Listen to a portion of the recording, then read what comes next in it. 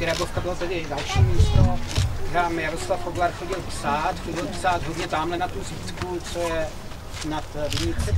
Chodil k té umělé skále, která tam je, tam napsal knížku Tajemná řásněvka a e, byli to, trávil tady opravdu hodně času a proto vlastně zase jsme rádi, že lavička může být tady, v těch místech, kde, kam on chodil a zase na dětském hřišti. Jak jsem říkal, já jsem velmi rád, že je u Borovice a tím spadá. Ta lavička, která tady je, tak je tentokrát lavička číslo dvě, je věnována knize Chata v jezerní kotlině, což je kniha, která opět vyjde teď na podzim, vyjde, jestli se nepletu, tak v osmém, ne, nebo v osmém, nebo ve dvanáctém vydání, nevím, jestli to někdo, teď se nepletu, ale někde tady, někde tady to je napsané, 12. Takže je to 12. vydání, které vyjde v listopadu Albatrosu, tentokrát ho ilustruje Pavel Čech. Pavel Čech, známý uh, ilustrátor, který je vlastně autorem toho základního ideového návrhu, jak ta lavička, jak ta lavička by měla vypadat.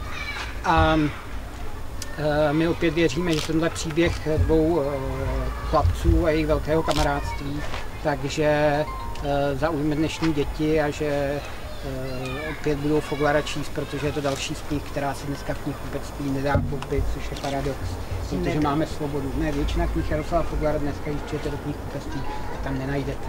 Kvůli nevyřešeným autorským právům je neměl kde vydávat, takže 10 let nejmí už mnoho z nich se nedá koupit. Takže je to vlastně paradox, že Jaroslav, v antikvariáty, mm. dobře, no, antikvariáty. Ale když přijete do knihkupectví, tak je smutný, že Jaroslavu Foglarovi desítky let nemohli knihy vydávat kvůli komunistům a teďka vlastně, když je svoboda, tak nemohli vycházet kvůli nevyřešeným autorským právům a dědictvím. Říká se do třetice všeho dobrého tak jestli třeba na Praze 2 by se nevytipovalo třetí místo. Nevím teďka, jestli i s jinými městskými částmi máte nějakou dohodu, že ty lavičky, hmm. Eh, že jich máte teďka 20 rozjednaných a nevíte, co máte dělat dřív, ale určitě eh, dvojka by se nebránila umístění další lavičky. Napadá mě samozřejmě ta korunní. Jo. Eh, napadá mě korunní, kde bydlel, případně korunní vnitroblok, nebo s Honzou Korzeskou jsme diskutovali, eh, že máme takový taky jedno bohem zapomenutý místo eh, vedle Stracenky a eh, fortifikace barokní, gotický neboli bastionu zbíhajícího se do Noselského údolí, tak pod tím mm-hmm. je takový pozemek, který, kterýmu se říká Horská. Je tam krásný výhled na Prahu, zase trošku jiný. Uh, takže to by se mi možná líbilo hmm. tam, ale nemá, nechtěla bych to vymýšlet já. Určitě máte ve vašich oddílech spoustu uh, mládeže, dětí, uh, který možná by si to mohli udělat uh, jako nějakou soutěž a hmm. nějaký návrh bychom pak mohli vyhodnotit a, a vybrat. Takže tohle to hmm. snad můžu ještě nabídnout, byť za tři týdny máme volby, ale tak já budu doufat, že nějakým způsobem do toho života na dvojce budeme budeme nějak promlouvat dál. No. Kdybych, hmm. kdybych tu naději neměla, tak asi tady nikdo z nás nestojí a ani nechceme kandidovat. Uvidím. Když bude nejhůř, my budeme hrozně silná opozice. A víte co? A když bude, když bude nejhůř, tak si myslím, že se určitě na tu lavičku poskládáme my a zaplatíme ji za. Eh, takže, to určitě takže budeme určitě. moc rádi. Kdyby jsme, my bychom samozřejmě nejradši, kdyby jsme našli nějaké místo, eh, kde Jaroslav Foglar, jak jsem říkal, psal nejradši, a to je Kleo. A tam je právě to místo přesně, kde psal, tak to bohužel je soukromí. Ale kdyby se našlo někde v blízkosti jako místo, i třeba v tom, tam, na tom dětském domově, nebo, na, no, nebo někde tam, tak to bychom byli velmi rádi, protože tam vznikly opět, jako většina jeho knih tam chodil psát a bylo to jeho asi nejzamilovanější místo mm-hmm. na Praze A kde přesně to bylo? Bylo to, jak, tam je taková tam vede taková jakoby ulička malinka. Myší tam, díra, tomu říkám. No a nad tím jsou baráky a je tam taková malá zahrádka a je tam vidět dolů na ty koleje. Mm-hmm. tak to bylo to místo. A není to to, jak bylo železniční stavitelství, je to z druhé strany. Ne, ne, je to z druhé strany. Tak tady, tady to bylo, ale jako když se někde v okolí tam blízko najde, mm. tak by to samozřejmě bylo no. místo, které bychom rádi měli. Já totiž, proč tady paní starostka mluvila o té horské? Je doloženo a začíná se zkoumat, že tam tvořili Jára Zimmerman. A já jsem přesvědčen o tom, že kdyby pan Fogar ještě žil, tak tam určitě tvoří. Takže já si myslím, že to opravdu ta lavička tam pasovala i z toho důvodu, že opravdu není, nezná místo, tam je to hezký. kde on by třeba netvořil, kdyby se toho dožil. Lavičku jako takovou konstrukci to vyřídil někdo jiný. Já jsem dostal nějak po dohodě za takový zadání pojednat nějak ta opěradla, takže moje práce na tom je ta řezbářská práce na tom opěradle. Asi tak.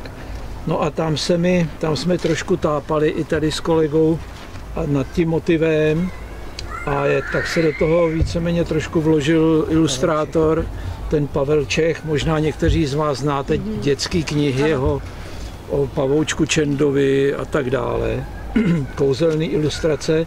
No a ten trošku mi tam vnuknul ten nápad, jako aby to, aby to vypadalo takhle, jako ten jeden z těch objevitelů té rokle, o čemž ta kniha vlastně pojednává, se přes padlej strom, přes nějakou propast dostává tam. Možná k tomu taková zajímavost, dokud to bylo, nebyl ten strom podříznutý obrysově jako silueta, tak to bylo pořád takový jako trošku o ničem, až v momentě mám ten pocit já teda, že když se to odlehčilo a objevil se ten strom a teď se teda ještě objevil nad tím sedákem, že to opravdu jako evokuje možná trošku nějaký prostor pod tím jako propast teda. Já chci moc poděkovat, protože prostě ty lavičky jsou krásné a já jsem, a já ještě musím říct jako by mojí, jak, jak jsem jako pana Pokorního objevil, protože to je jako pro mě krásná historka. Eh, Já jsem, když jsme přišel ten nápad a tamhle je Katel, který ho zdravím, který mu moc děkuju, protože on je autorem toho nápadu, že by mohly být lavičky Jaroslava Foglera v místech, tak eh, jsem na internetu zadal řezbář Foglar, jestli někdo k tomu nemá vztah. A objevili jsme, že pan Pokorný má na svých internetových stránkách napsáno, jak Jaroslavu Foglarovi eh, vyřezal v 80. letech Bobra na oddílový totem Pražské dvojky, jeho druhého oddílu. Tak jsem říkal, to je skvělý a teď koukám, dám si kontakt a zjistím, že bydlí ve vesnici nade mnou. Takže, Čtyři kilometry od sebe, Takže to ani nesne, takže, No, takže tři, prostě, tomu. To je prostě znamení. kousíček, takže ano, to bylo znamení, takže jsem mu zavolal a takže od té doby jde e, naše spolupráce a já jsem moc rád, protože ty lavičky jsou fakt krásné. Jsou. Děkujeme. moc- Takže děkujeme. A děkuji taky.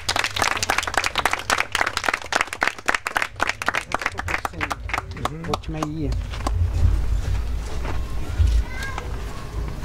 Tak, Pojďte ještě. kdo může? Pojďte kdokoliv, třeba. Mějte. Máme body dost, jo. No jasně, tak Takhle je to takový skoro až biblický. ono vody, vody je Pojďte, body máme dost taky. No jasně, můžeš vzít i víc. Jak vydržíš všechny povětrnostní vlivy. Jdu ke kořenu. Kdo si chcete ještě vzít, vy se můžete napít teda, jo? Je, je čistá.